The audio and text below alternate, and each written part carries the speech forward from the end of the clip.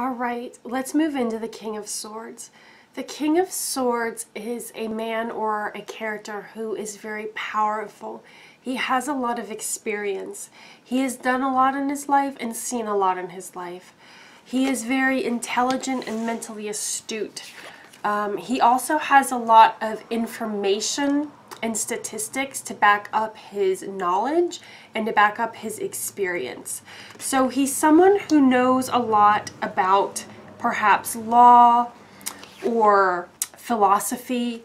He has a lot of information in order to back up his decisions, in order to back up the things he thinks and his attitudes and belief systems. He is someone who is very much in command and is not afraid to make decisions. He actually reminds me a lot of Commander Adama on Battlestar Galactica, which I've been watching recently, which is freaking fantabulous. If you haven't watched it, you should so do so. And he, he, Commander Adama is very cool under pressure. He's able to make these very difficult decisions with the data that he has, even if it's not complete. And he's able to remain cool and calm and collected during the entire time. Like it doesn't matter what someone throws at him, he is composed. And that is very much a King of Swords energy. This person is so much a leader. They know their authority and they know they're in the right and they know how to lead and command others and people honor and respect them and they want to follow this person okay? This is someone who has a lot of sway in society or whatever society that he is in. So this card could mean someone who is like a judge. It could mean someone who is an attorney. Uh, it could mean someone that is the, I was going to say the king of an organization, someone who's a, a upper level manager or like a managing director of a company or the owner of a company, right? They have a lot of influence, command, and sway. They also have the experience to back it up. They know what they're talking about, right? Like they're on it. The other thing I want to mention about this card is the King of Swords doesn't take flack from others. Just like how the Queen of Swords isn't having any of that, neither is the King of Swords. He will not deal with bullshit. Like, he can see that a mile away because he's so knowledgeable. So he's like, no. Like, he will not deal with stuff like that and nor will he be fooled.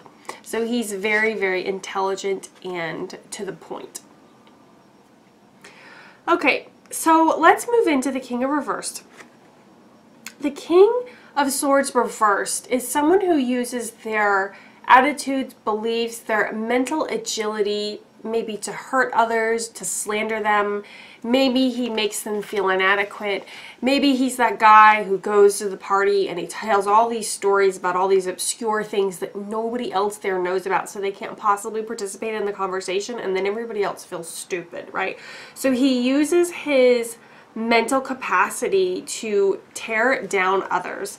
People do not want to follow this guy. They think he's an asshole, right? They're like, are you kidding? Did you hear what, what he said at the party? He went on and on about nuclear physics, cryogenic whatever. And like, nobody there knows about that. Can you believe what a pompous jerk this guy was? Right? So that's what might come across when this card is reversed. The second thing that can come um, through when this card is reversed is this person might make his decisions based on like his own agenda whereas this person is leading and he's making decisions based on the greater good of all because he's in a commanding position. Reverse this person is out for himself. Like he is maybe making up stories or saying things and leaving out some of the truth in order to make circumstances and events go in his favor his favor. So he's very, very self uh, centered and trying to maybe elevate himself or make himself look better or favor his pet cause. And he does it to the detriment of the good of all. So he is not impartial. He is not doing it to help others. It is a purely selfish thing. So he sees things the way he wants to see them, and then he does things and uses his power to make things come about in a way so that he gets his way and he gets what he wants.